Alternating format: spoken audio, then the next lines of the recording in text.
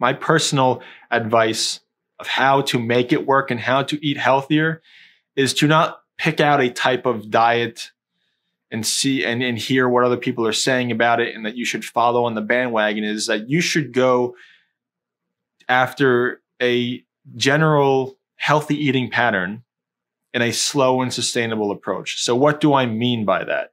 Well, first, just break nutrition down to the basics.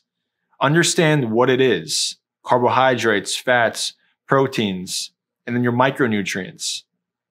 Don't worry about all the other science and diets. Just break it down to the fundamentals.